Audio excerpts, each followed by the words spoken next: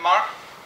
I'm Senior Solutions Architect um, based out of Germany for MongoDB, the company behind um, the technology. First, um, I want to know a little bit about the audience. So, who is um, who's working already with with us as a database? Oh, so, so, and who knows us and basically what what our database does, or how is it? Most of you. Uh, two thirds. Okay, so um, I want I want to run quickly, or I want to run about like why we are here. I mean the, the database itself, MongoDB, where it comes from, and what concepts are there. And some of you might already aware of it, uh, but feel free to ask questions uh, during during the session. You said I have roughly one hour, so the slide deck is not that super long. Uh, so I I will uh, try to address like ad hoc questions. It, it won't focus on um, uh, that much on Java itself. It will focus a little bit more on the database and what you can do with it, but we can uh, iterate over. I, I just checked uh, the, um, the pens there so I can draw some boxes and lines if you want. So where, where are we coming from?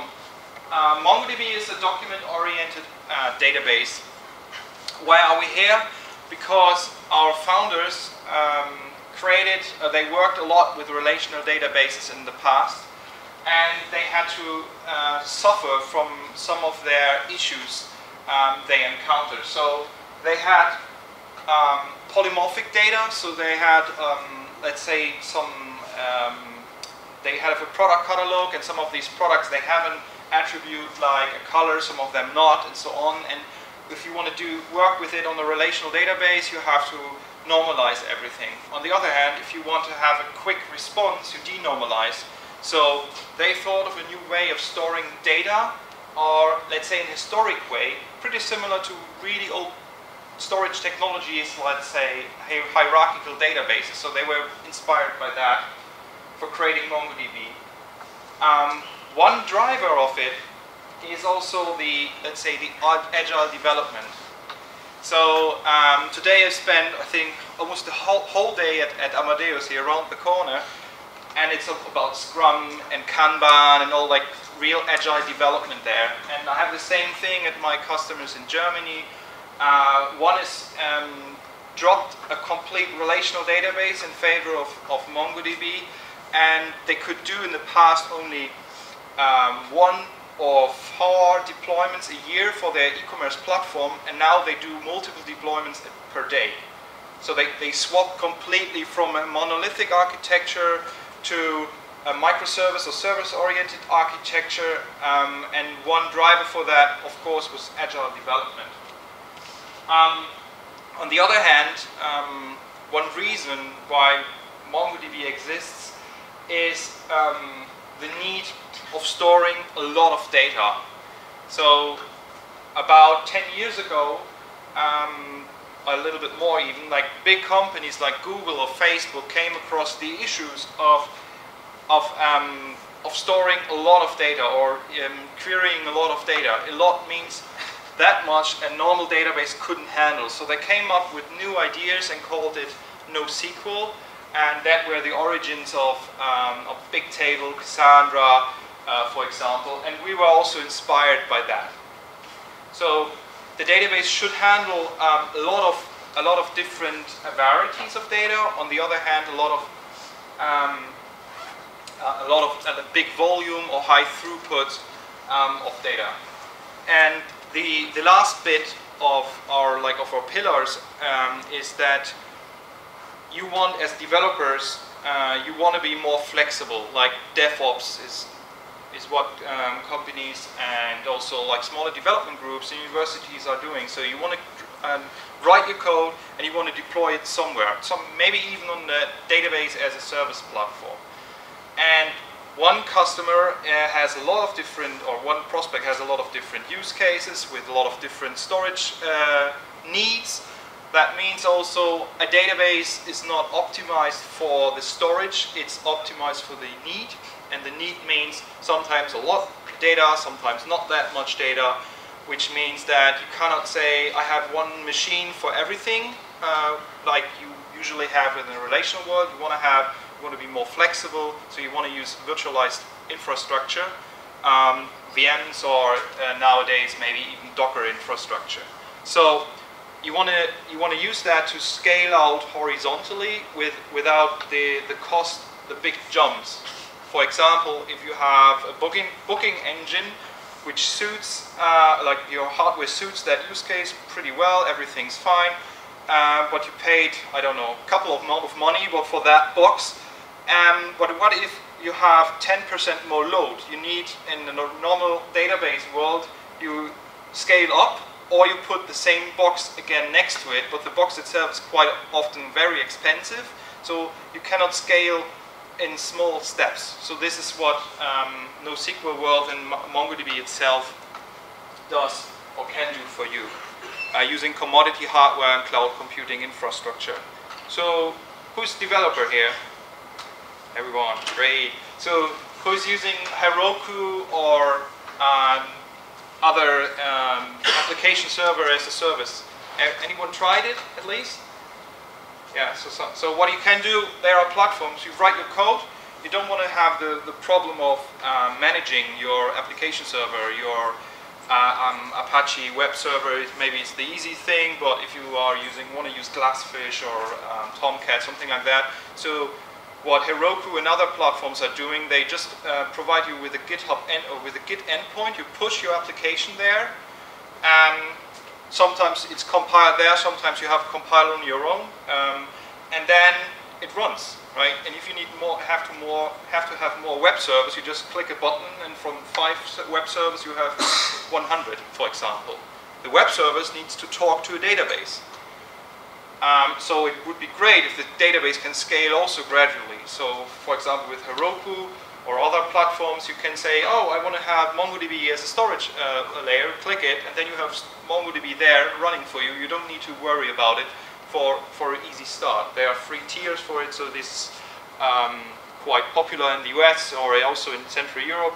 And I know, for example, Run um, a project from a French company, um, big hoster here uh, is uh, providing you that as well.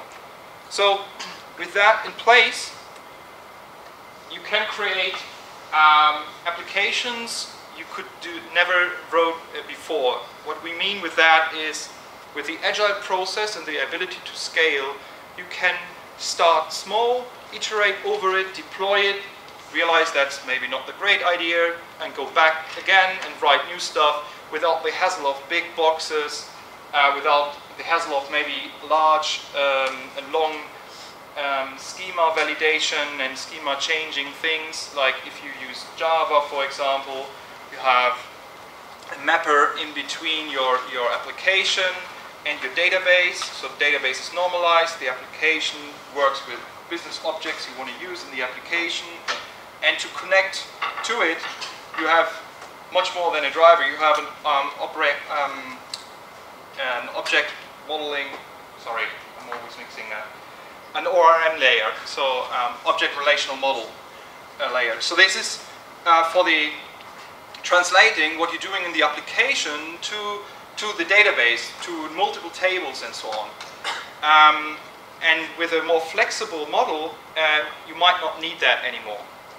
So MongoDB itself is designed not for niche, so it's designed for multi-purpose, pretty similar to a relational database. So you can use it in a booking application, you can use it in an e-commerce application, or um, just uh, if you want to store uh, weather information and you want to calculate the average uh, temperature of Nice or in a specific time frame, something like that. So you can also do compute in, uh, computing stuff.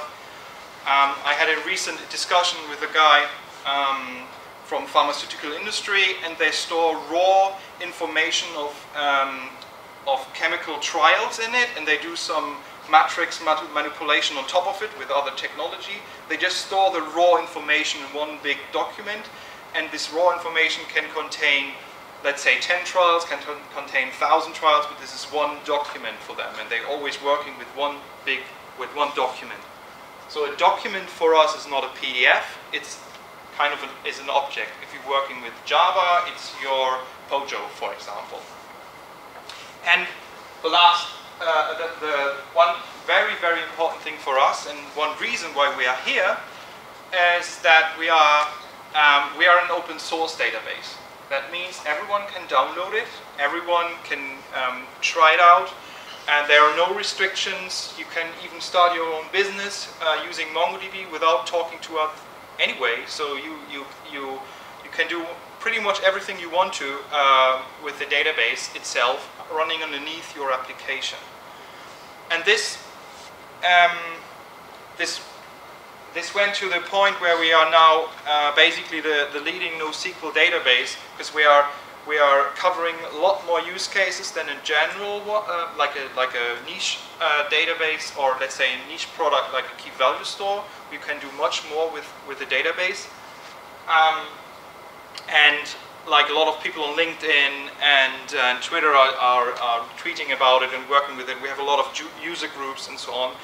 And, and we as a company are trying to drive it. Just uh, two like a little bit marketing slides, but as a company itself, we are the um, we are providing the, the source code. We having the roadmap in our hand is our intellectual property. Everyone can participate in making it better, specifically drivers. So the Java driver is, an, is on the Apache license.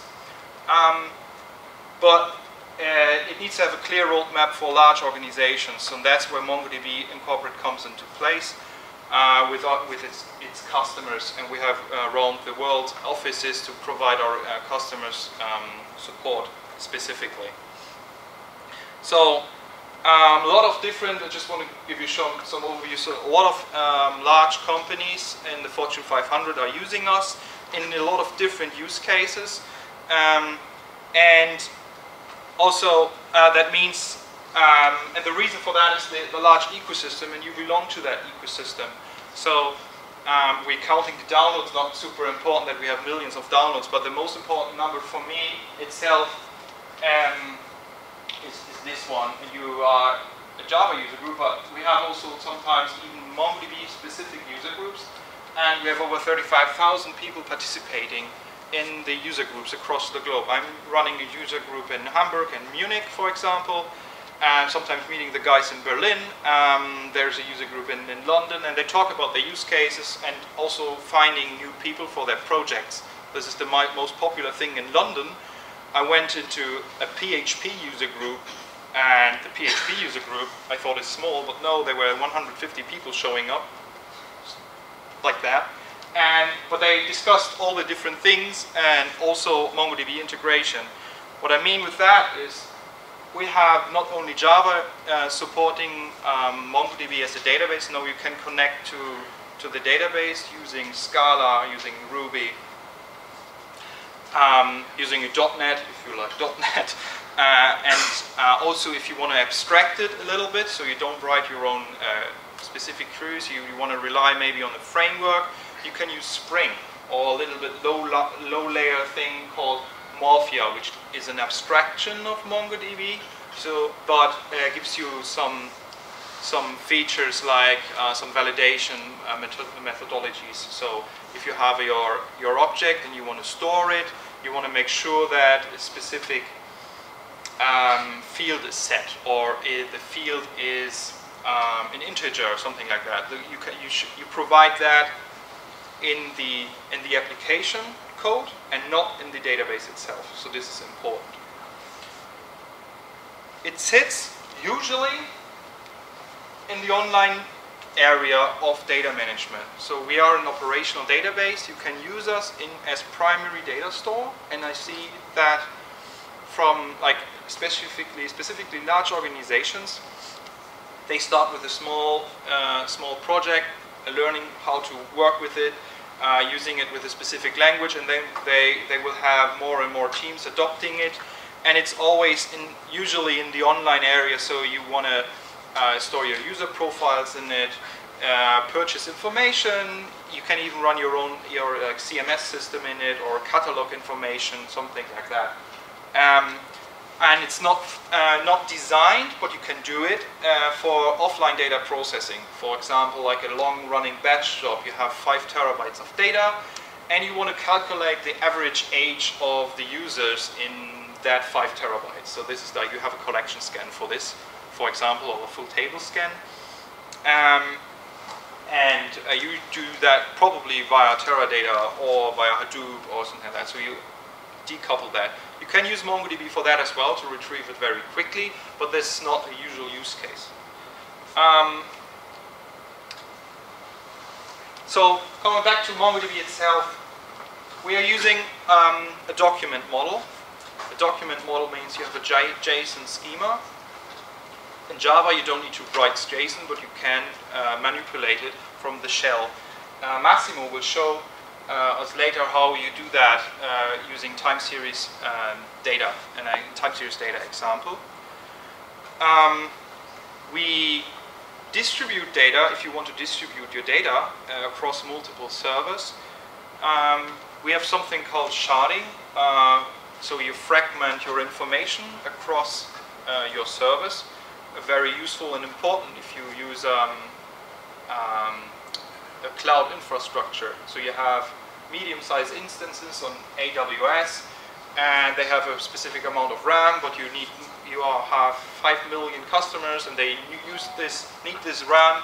But maybe you are more um, you're more successful now. You have 10 million customers, something like that. So you add another machine to it with using sharding for that. Um, you some uh, simple text search queries. So um, that means that you can uh, like having some some algorithm for like um, suggestion. So you type in a name uh, and you want to have an auto suggestion. So for that you can use MongoDB text search in different languages, including French and German.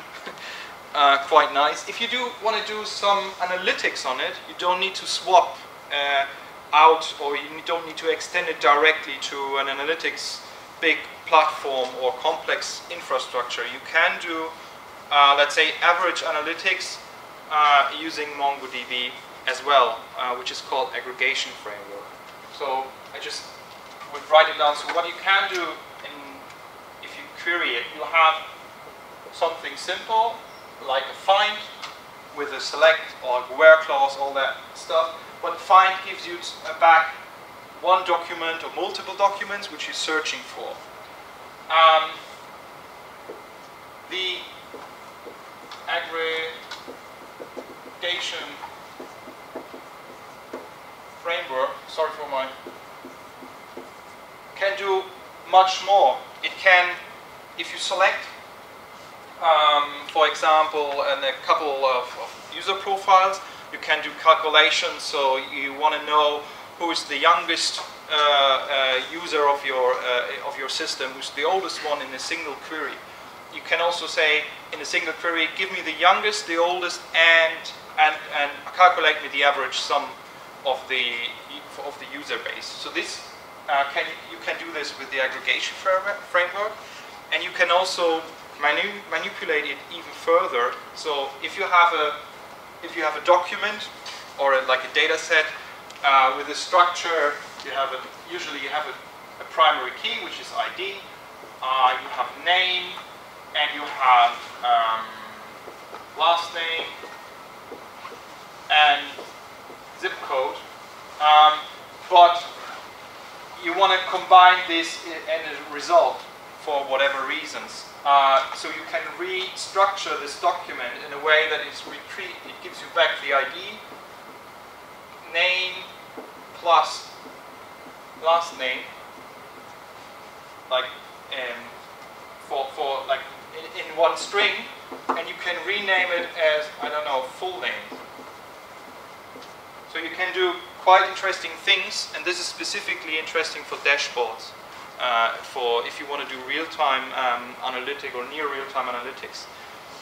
If you do want to do some basic um, iterations, for example, you want to do a, a k-means clustering thing, uh, you probably end up in using a MapReduce, so we're supporting MapReduce as well, but you, if you want to go down that path very, very deep, or you want to add uh, like a streaming uh, system like um, Storm or Spark, you can use MongoDB's Hadoop connector and you can write uh, um, so, so your, your Spark or Hadoop system can read from MongoDB and write to MongoDB as well. So there there's, um, it's quite easy to extend it as well beyond the normal features of the MongoDB. On the other hand, um, when you want to query, um, and this is important uh, for us as a general, we call it the general flexible uh, index support, is that uh, a key value store can only, you can only query on an ID, a specific ID, and everything else is just a blob where you can't do like uh, these calculations usually.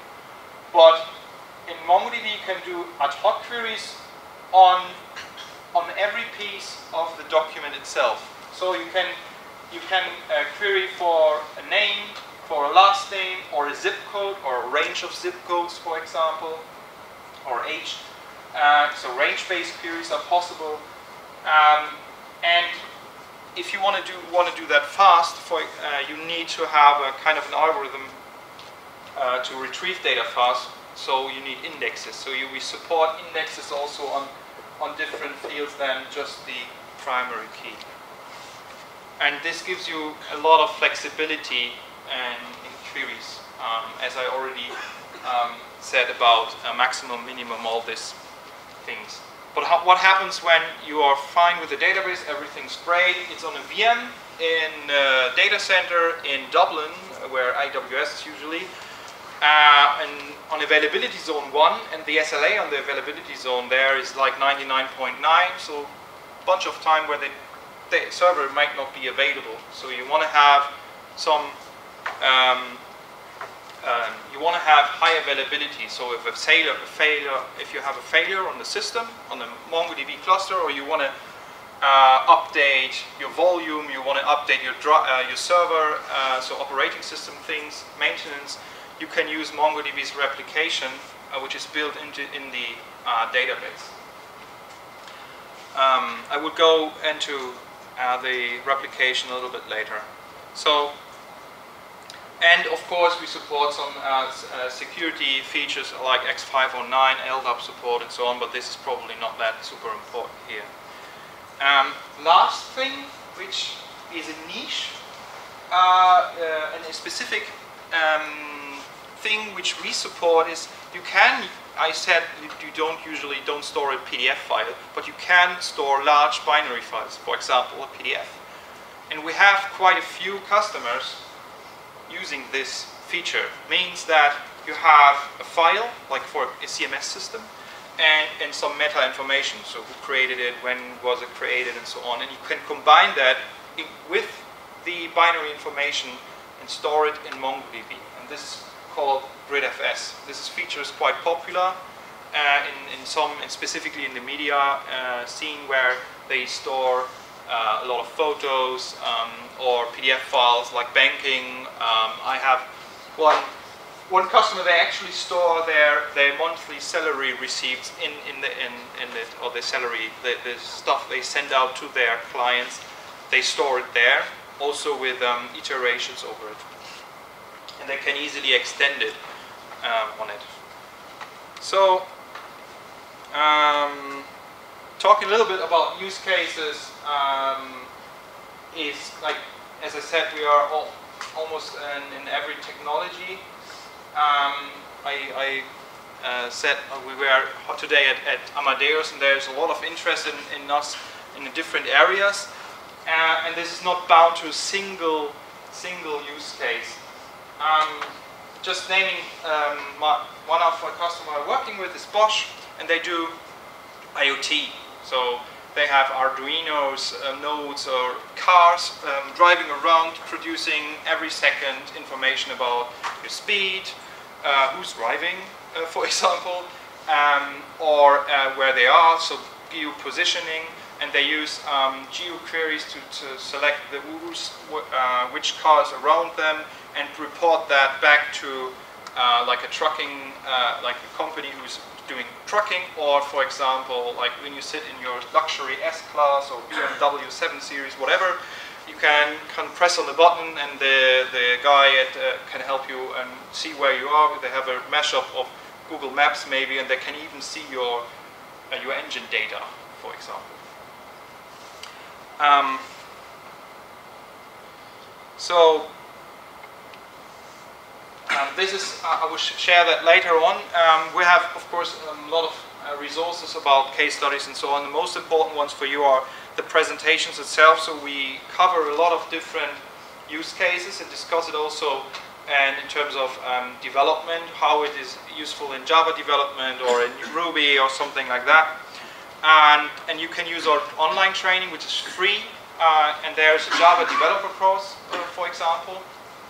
And you can uh, re register for it. It runs every, uh, every week, but it starts every eight weeks, roughly. And you learn there how to work, uh, how to create a schema, how to query, how to delete, how to uh, use advanced features like, um, for example, a time to live index, uh, which is a, mechanism in MongoDB to delete data automatically based on a time. For, so you are uh, you just you don't want to have data older than two weeks or 30 seconds if you just want to store the last 30 seconds, something like that. Um, so I want to quickly go into how are we doing this, uh, um, so how we achieve a better performance maybe than other ones. Uh, so one thing is a data locality. So we have a document here. I, this is super simple document. Uh, you have a name, a last name, and a zip. But uh, maybe a day or two days later, you decide, ah, I don't, I, do, I don't want to. I want to store also my my friends or my top five ratings for products and the product name. So you, what you can do is create substructures inside the document itself. So you don't have a flat, uh, flat object with just the key value uh, pairs. A value can be, again, an object or an array of objects, and you can work with these arrays also if you want to. And we store this all together in one document, and when you retrieve it, of course, it's it, uh, faster than if you do uh, if you have a, not, denormalized uh, infrastructure where you have to lock different tables and scan this across uh, the, the, the, volumes and get it back to the um, to the to the database and serve it out. Uh, another thing is that you, if you insert or update, specifically if you update something, you update only a part. So if, for example, if you want to replace the last name, you don't store what you usually do with, uh, with a lot of databases, the whole document. So you only update that piece, which is much less data, which is going over wire to the database itself. Um, I said we do this scale out with sharding. And um, that means that you your your data itself, like your user user information, like my user information sits there, um, Massimo sits here, and so on, and, and you can elastically extend it, but also remove it. I mean, you can only remove it if you have enough storage on, on the other ones, but you can do that um, during the runtime. Um, so this is uh, so this gives you uh, the availability of scaling as you want to, uh, adding, adding more disks if you need to, while you don't need to uh, turn off the application, uh, do maintenance tasks and, and, start the database again and start the application. Can you, can, you don't need to do that um, with the database itself.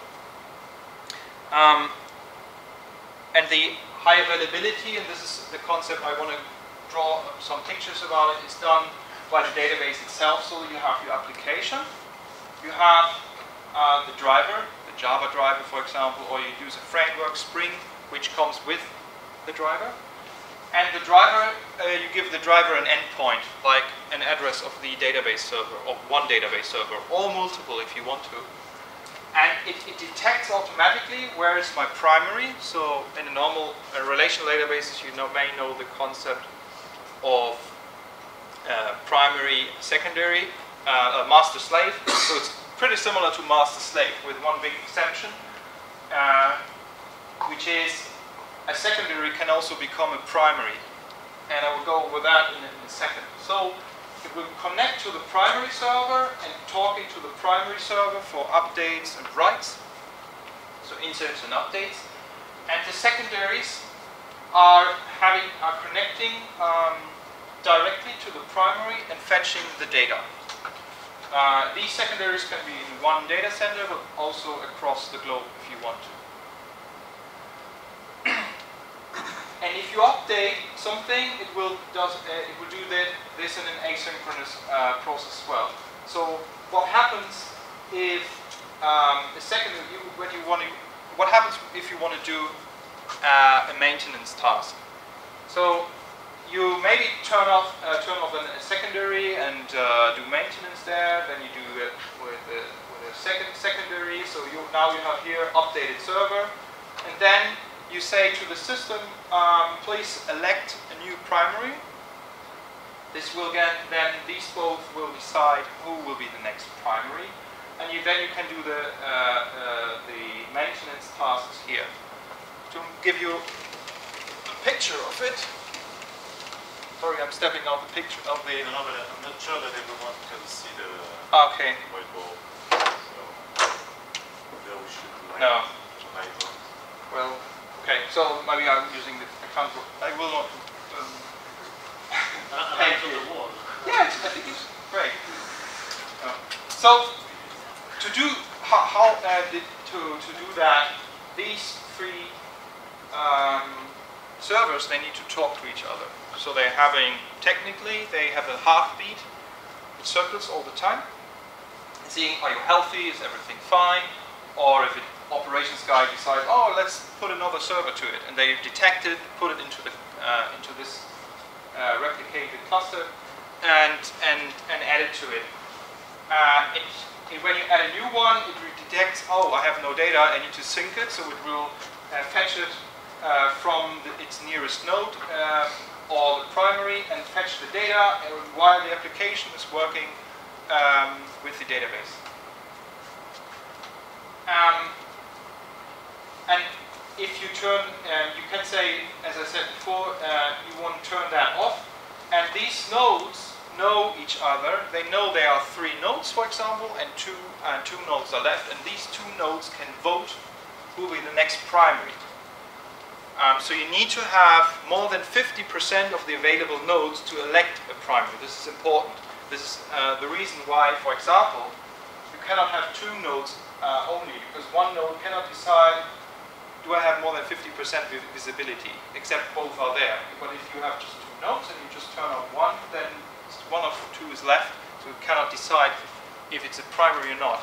In that case, it will automatically fall back to be a secondary, and you can, from the application perspective, still read from a secondary if you want to.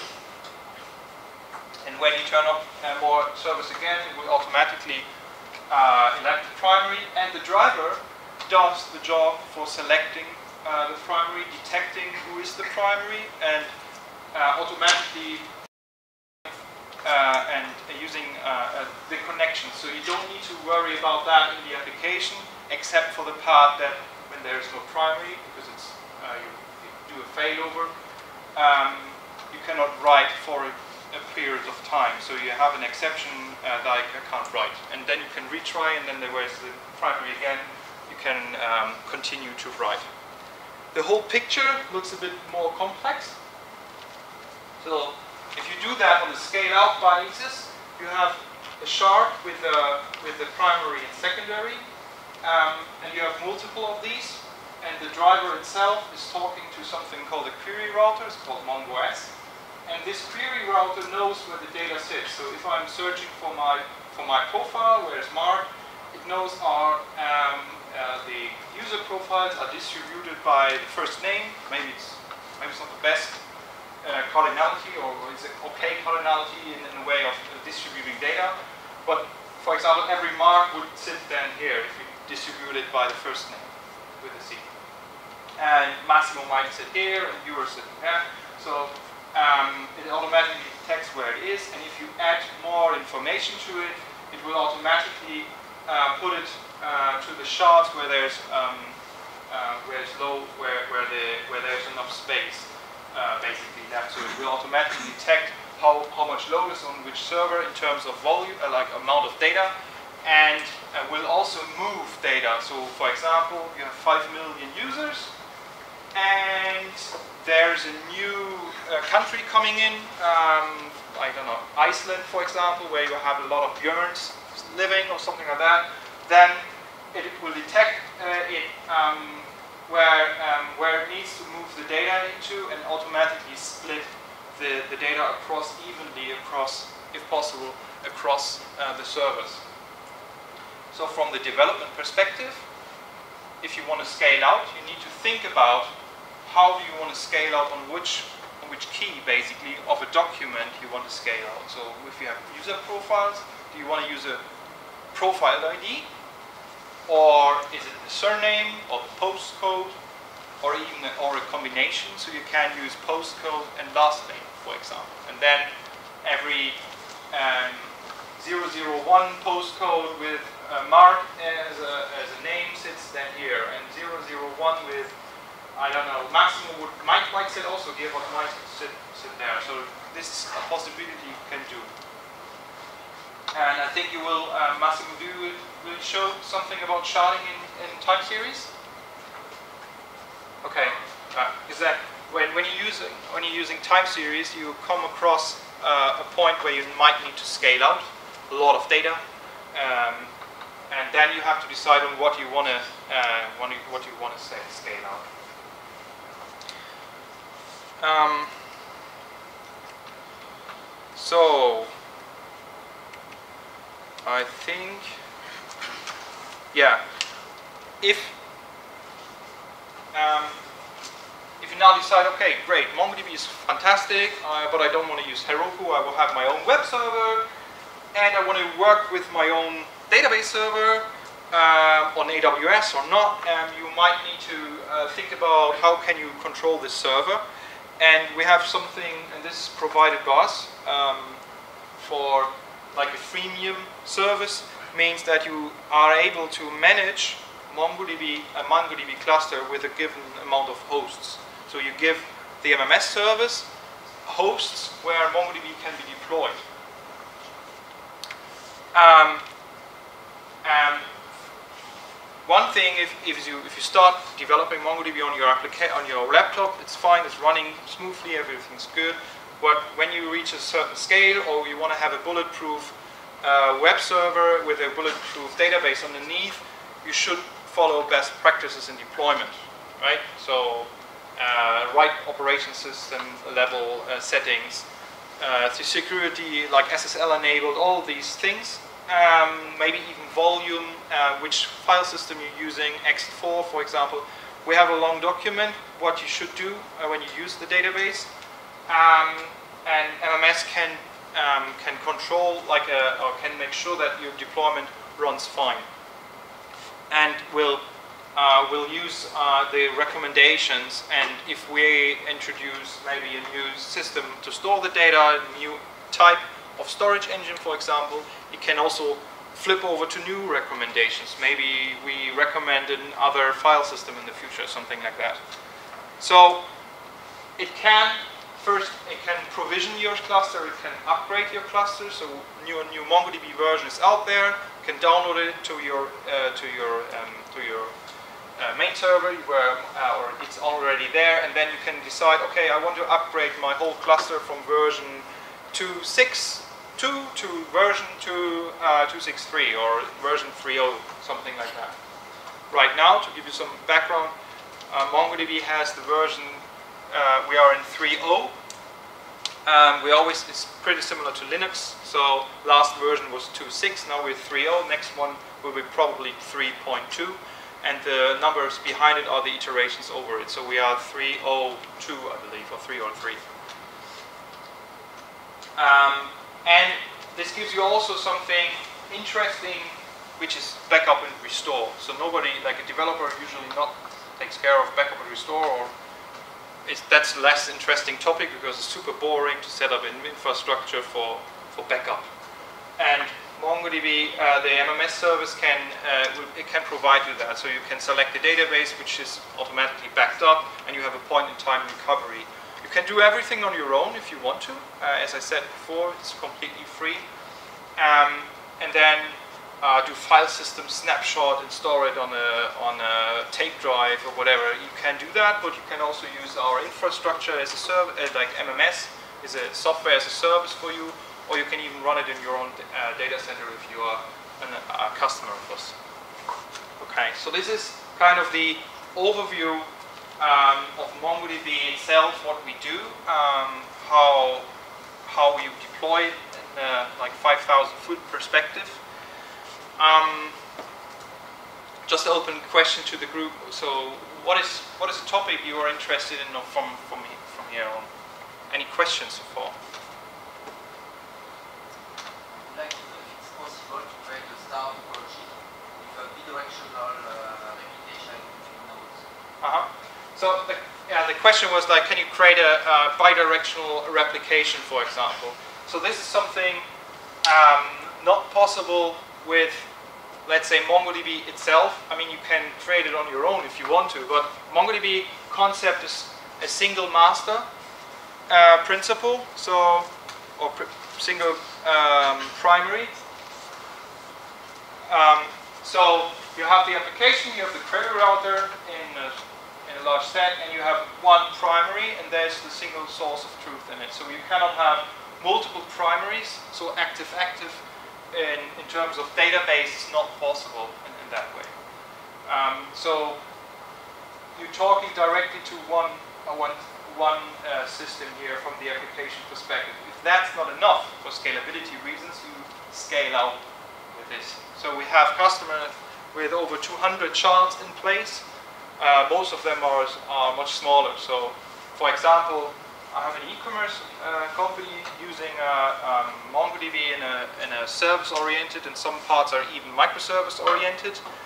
They don't even use sharding uh, for the for the e-commerce system, and this system is quite large. The whole data, the whole data set, if you count all the data together, uh, it's, it's, still less than a terabyte. So, but the the um, they have over 450 uh, page views per second on the system. It's the most popular, the second most popular one in, in Germany, running MongoDB underneath. So they use just replica sets. So a product catalog sits in one replica set.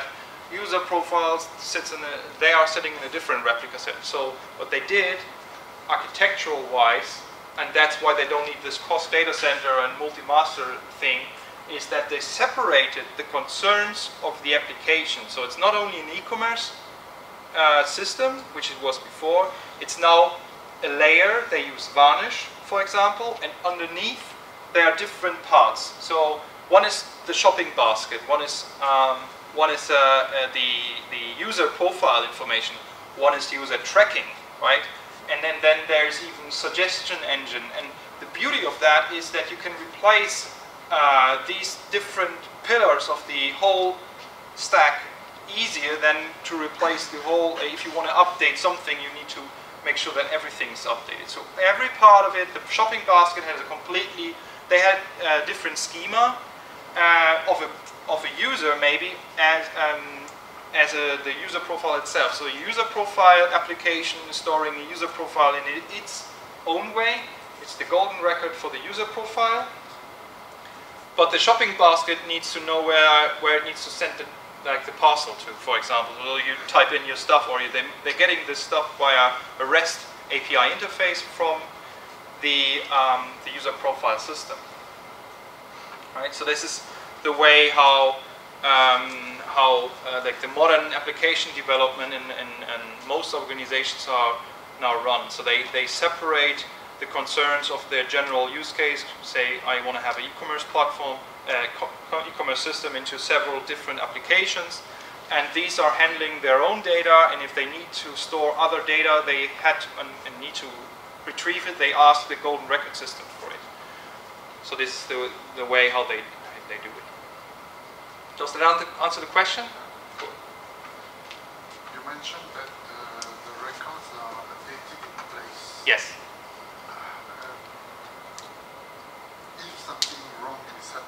How is the data secured and stored? Okay, this is a good point. Um,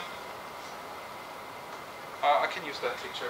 Um, so what happens if something's failing, right? So I said MongoDB makes uh, sure, uh, make sure that your data is updated on the primary. So you write data to the primary, you retrieve data in general from the primary. You can also read from secondaries, but in general you read from a specific from the primary. An operation itself, like an update, in-place update, can be successful or not successful. There's no half update. So an update statement can be introduce a new attribute, age, right? I'm age 37, put it, I set it or born on, and incre increment a counter and uh, add something to an array. This could be one operation, and this, op this operation is done um, completely or not. So if, if the primary is fading in between, it's, it won't update it on disk, for example, or in, in memory. So uh, it will be successful or not, so there's no halfway updated information. If you're really serious about, okay, this information is super important and you have high availability in place, but you're scared of primary failure, what you can do with MongoDB is you can say to an operation or to the connection itself, I want to make sure that this operation or the operations on the uh, connection or on the database or the collection are always uh, only successful if they are um, if they reach the majority of the nodes of one of one replica set. So you wait basically for the replication. This makes the update operation a little bit slower because you have latency between it, but if you, I don't know, set the age of someone uh, and set, I want to wait for the majority of nodes, you can, uh, it until it gets an okay from this and this, or both are like each. You can even go, go a step further, but that's uh, um, will, will be beyond the, like the introduction. You can say, uh, this is in Europe, this is in the US, and this is in, in, in, APAC, and you have a couple more, so you have, can have up to 50 servers in a replica set, which is quite large. So most customers have three, five, or seven byte basically. But just imagine you have a primary server in France, a secondary server in France, so you have a high, a good failover in France, and then you have two servers in the US and uh, two servers uh, in China or whatever. And then you want, in an update statement, you want to make sure that this um, update statement is, is progressed over at least Europe, so one server in Europe, probably the primary, or uh, and one other country, or you say at least in two servers in China, for example. You can do that in, in the write concern, right? So this is, this is possible, so you can extend this durability over the prime. Does that answer the question? Great. So this is what this is also a unique feature of, of, of the database itself. You can turn it around also. So I said you can read from secondaries. In that example, if you have multiple data uh, bases across the world, US, Europe, APAC, uh, you can um, read locally as well. So you can say, okay, I'm, I'm okay with reading from a secondary, even if there's a latency and the update statement takes, takes a while. But you can say, I want to read from the US server, um, if, if, if there is an uh, US server. If there's no um, US server, we'll uh, fetch data from a different one. Or you say, I just want to fetch data from a US server, and when there is no US server, you get an exception, something like that. So you can tag servers, like Europe, US, US, something like that, or Europe, Europe, US, something like that, and then you can uh, say uh, primary preferred, so when there is a primary, get it from the primary. When there is no primary in a zone, then select the secondary. You can even say, select the nearest node. There's a computational process. The driver is running that, or the query route is running that uh, over the time. And, and saying, okay, this one is the nearest node to your application server. It will fetch data from that. And that will reduce cross-Atlantic um, traffic, for example, in your application. Yeah. You mentioned briefly uh, advanced security. Yes. Uh, what exactly is possible uh, to give rights to read and write the DB to people? Yeah. So uh, the question is about like security. Um, there are like security is always like a, a shaped model, like a, it's a right. So you have to make sure that your database server is not open to the world, right? So port ports are blocked uh, like there are some standard ports of MongoDB and you only allow these ports in local network, something like that. You have users, uh, you have profiles, you can have an admin profile and a normal application profile, and the application user is not allowed to drop a database, for example, something like that. You can add um, something to it, uh, you, like um, auditing, which is only available for the enterprise version, but you can trial, uh, you can use it uh, as free for a trial.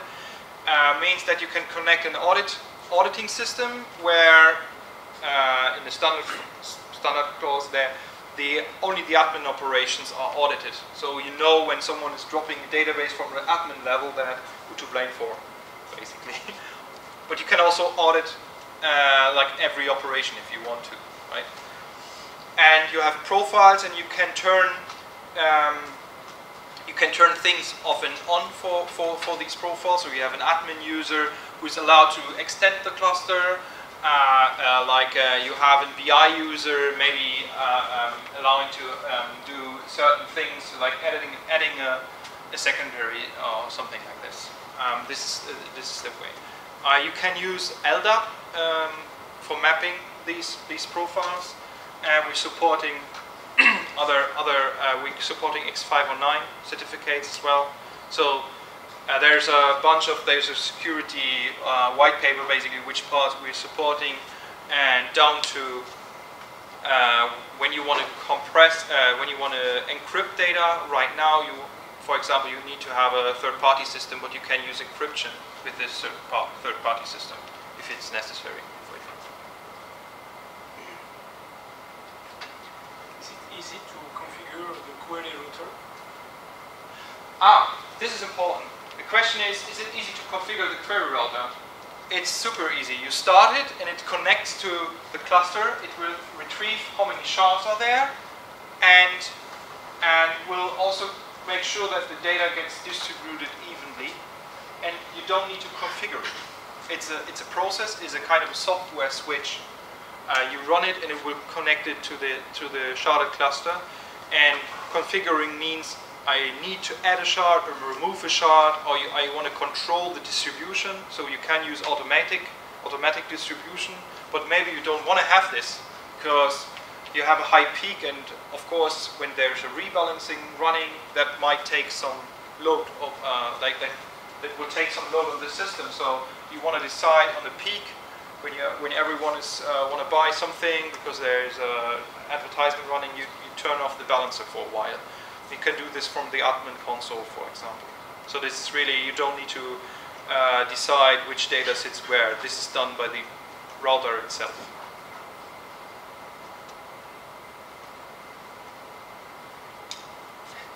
Uh, So, yeah. if I understood well, uh, when you try to write something yes. in a replica set, you write always first to the primary. Yes. But you, when you try to read, it's not necessarily from the primary. It is in a, in a standard phase, so the driver will always read and write to the primary, as a um, write to the primary and read from the primary in the standard like in the connection, you define it in the in the connection itself, or you, you don't. If you don't define it, it's the default. It reads and writes from the primary, with a to and from the primary. but you can, if you want to, read from a secondary. Like if you say uh, this, the, the the lower section here, you tag them as BI nodes. Slow one on spindles. They, these ones are fancy ones on Fusion IO maybe, and you have these ones BI, call it BI nodes. Um, in your BI application, in your BI application, you define a connection string. It read from a uh, read from only from the BI nodes. If there is no node for you available, there's an exception, for example. So you can control it on the application layer. Of course, you need to make sure that you tag it in the right way. So if your operation team decides these are not only BI, they, they call it analytics, then you have an error. yeah? Uh, question, how do you compare MongoDB other NoSQL databases? Yeah. Like, for instance, uh, Cassandra. Yeah. So, um, MongoDB is um, is built uh, in a multi uh, multi-purpose way. So we are aiming for uh, we have a very very complex uh, we, we have a, very complex uh, query structure you can do a lot of complex queries you can do um, uh, you can do uh, like bounding boxes queries um, for like geo, geo information for example you can do use the aggregation framework and these one give you more um, availabilities in application development than, for example, uh, Cassandra, which is focusing on uh, high availability and write, uh, throughput, for example. Um, you still have to, uh, and, and also the concept itself, like Cassandra is a multi-master uh, concept, um, and you, um, and then there are like different, there, like there's a comparison page. I, I don't want to go deeply into this, but for most application developers, it's easier to get started with, uh, with MongoDB um, because it's very close to a relational database. You can do a lot of things which you can do also in the relational database. Some, some things uh, you can even do more, and, and some are not. Um, you can't, you, which you cannot do. So you cannot, for example, query across multiple databases at once or a multiple collections. So you cannot say uh, name, give me documents from my, my user group and from my table collection. We call it collection when you store your data in a collection users and collection old users, for example. This is not possible in a single query.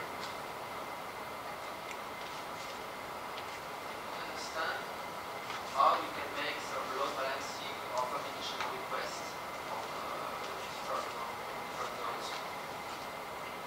So the question is load balancing on different on different nodes. So the standard, um, the way how to distribute load is is usually sharding. So if you have a lot of requests, uh, you probably have also a lot of, lot of data to, where, where data gets requested. So where sharding is not coming into place if you have spot market thing. For example, you have only three products and 50 million users want to get this, right? Increasing a count or something like this. This is where other systems may be more useful uh, than, than MongoDB itself. But from a load perspective, if your, if your primary server is overloaded, it has not enough RAM. One reason why you scale out with sharding.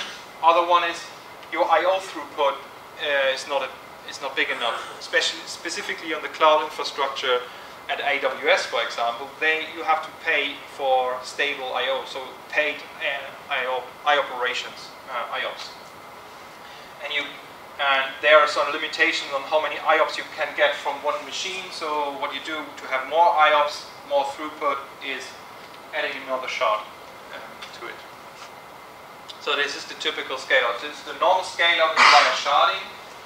Um, and sometimes you can also scale out in terms of reading from secondaries, but you have to make sure that this, like in the application, that the data you get there might be updated a millisecond later after you, you insert it. So if you insert something into the primary and then you read it from a, and read something from a secondary, it, the, the, the write might not be yet propagated to the secondary. So this is why we say, in, in, in usually you scale out via, via sharding and not via 50 servers in the replica set.